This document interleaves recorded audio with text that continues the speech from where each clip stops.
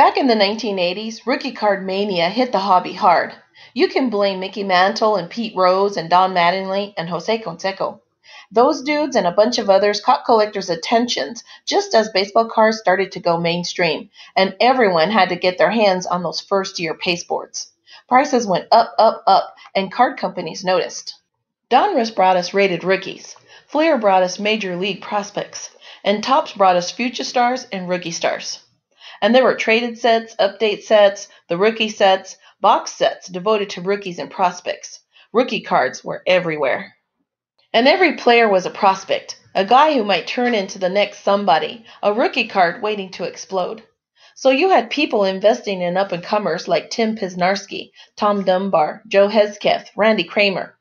If there was any chance you could see a major league field within the next five years, someone was going to give you a rookie card, and collectors were going to stock up on you.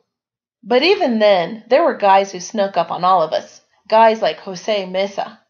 The future Indians closer began his professional baseball life when the Toronto Blue Jays signed him to an amateur free agent contract out of the Dominican Republic in 1981 when he was just 15 years old. 15. Joe Table spent six long years in the Jays minor league system, working almost exclusively as a starter and topping out at Double-A Knoxville in 1987. That summer, though, the Blue Jays were fighting for an American League East title, and they traded Oswaldo Peraza and a player to be named later to the Baltimore Orioles in exchange for starter Mike Flanagan. In September, the clubs agreed on the player to be named later, one Jose Mesa. While the Blue Jays fell short of their playoff aspirations, the Orioles pretty much fell short of being a major league team, finishing the season 67 and 95.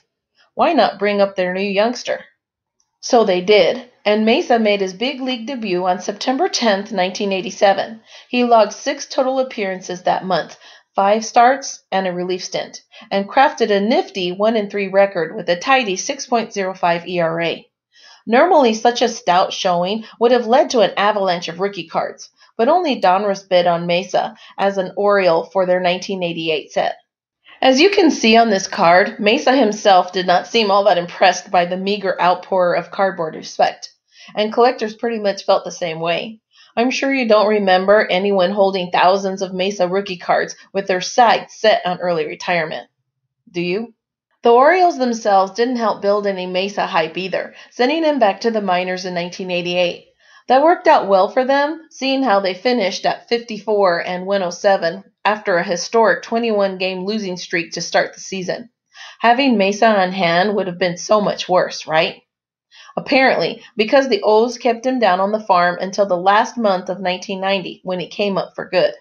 And it wasn't until the next year, 1991, that Upper Deck and Bowman finally gave that 1988 Donruss Jose Mesa rookie cards and company.